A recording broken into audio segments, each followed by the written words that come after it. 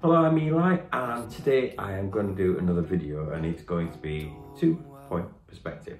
Well, we've done a one-point perspective, and that's in another video. If you want to go and have a look at that, I think it's the one before this one. Um, and we're going to make it quite simple.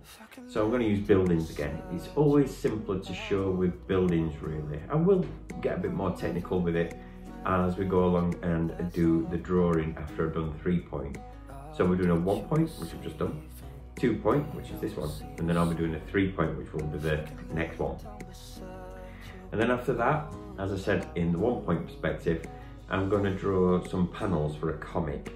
And I'm going to use the one, two and three point perspective in each one of the panels. And then I'm going to leave a fourth panel. I think I might do a mixture of uh, one point, and that sounds weird, but a mixture of one point in that. And then I can lead on to a mixture of two and a mixture of three. I hope this is going to make sense to you anyway. It will do in the end though. But fundamentally today what I'm going to do is I'm going to draw to give you the principles of using two point perspective. Now, before you do two point, if you've not done perspective before in any of the points, one, two or three, um, I suggest that you go and look at one point first because it's the easiest one and then we build up to the two point, then we go to the three point, which is the more dramatic and a little bit more difficult than the one and the two. So just take a look at the one point and have a go at that first until you think that you've got that theory down. And then you can always use it as reference um, if, if you do forget again, because sometimes that does happen. And then we can use this as a two point, and then like I say, we'll go on to a three point. But I'm just going to use buildings. Make it nice and simple. Anyway, I'm not, I'm not going to keep yabbing on. I'm going to actually get on with it, and I'll talk you through. It's probably going to be around about 10, maybe 12 minutes long, this video. Uh, last one was 16, went a little bit over what I wanted to do, but I'm hoping to do this all within 10, 12 minutes. So yeah, I'll stop yabbing and I'll get on. Okay, so for this, you will need, once again, pieces of paper, a ruler. I use a see-through one. It doesn't have to be a see-through one, but uh, I use a, a see-through one. And a pencil. I use a mechanical pencil. Once again, you don't need all these like fancy things. You know, you don't need like perfectly brilliant pencils and stuff. Um, you just need to be able to draw, really. Uh, something to draw on. Right. So, if you remember, this is what we did on a one point perspective, which if you've already watched the video before, you'll be familiar with these two things. Now, there's something called a, a an, a, I'll start again, a horizon line, but I don't call it a horizon line, I call it eye level or an eye line. And that's because that's where your eyes are looking from. So, um, I'm not going to write it on today. I'll just put it on the screen. Eye level. And we have two points because it's a two point perspective. So we'll get a vanishing point here, which are our two points. Vanishing point one, vanishing point two, or one and two, whichever you want to say. And as we did in our last video, everything comes or goes to these two points. Now, if we start with just one, like this, I hope I've drawn heavy enough. Yep, so you can see it. And we use, on this, we use these diagonal lines. And we also use um, vertical lines too. So vertical. I've wrote it, but I will write over top of this and put it onto the screen. I'm sure of that. So we'll put a vertical line in. And that's for the back of the building. I'm just going to do one building on here to show you. And then I'm going to put this line here, another vertical, to show where the front corner of the building is. But now instead of us like we did on our one point, we would now go across using just the one point across here and start doing a horizontal line. But we don't. We use this point and we match it up to here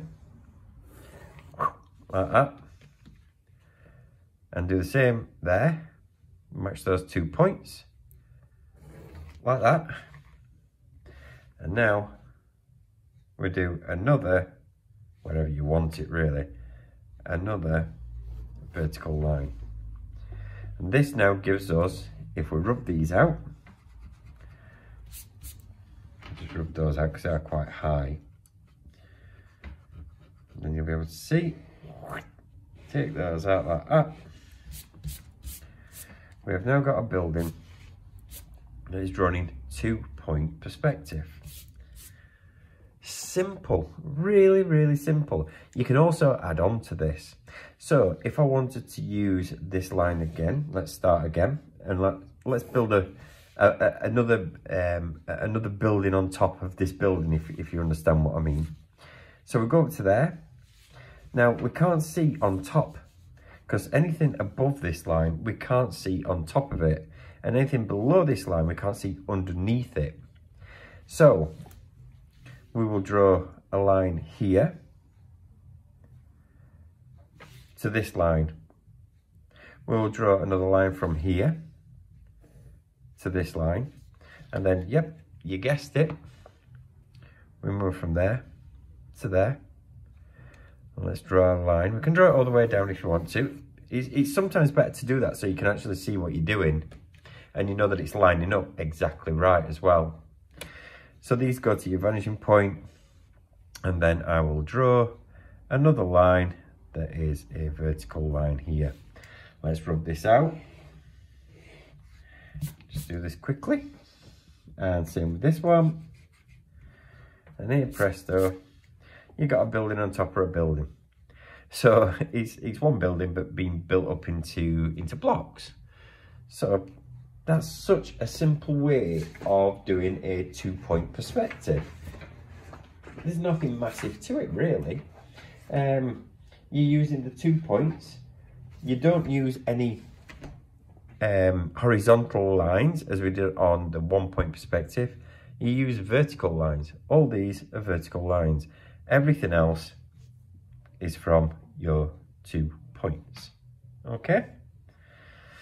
So, you can go more technical with this if you wanted to and start doing things that are, you can start, I don't know, maybe doing this because now you know which lines, that, which points they're going to and do this. So we're putting, you can start putting detail in.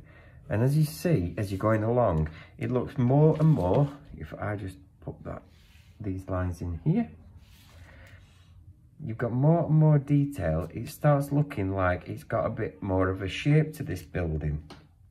And you can also see where things go away from you and how it comes closer to you. Now these are just some ideas of how to do things nice and simple.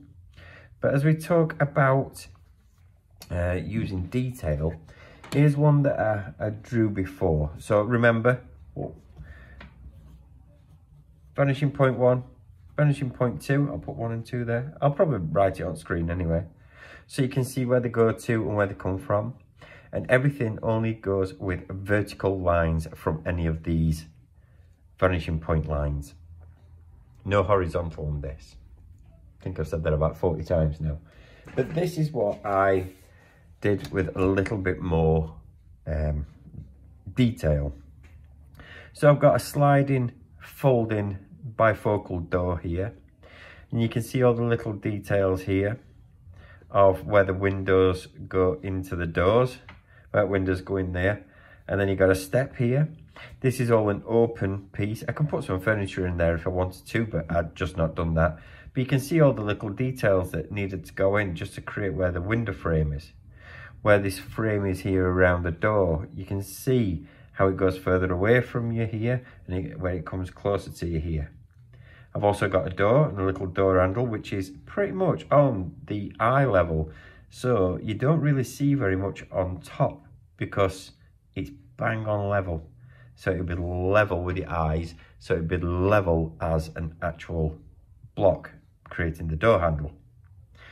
So everything, as I said before, everything above this, you can see underneath, but you can't see on top and everything below this eye line you can see on the top but you can't see underneath So this is just using a little bit more. I wanted to show you a little bit more of a detail within two point perspective.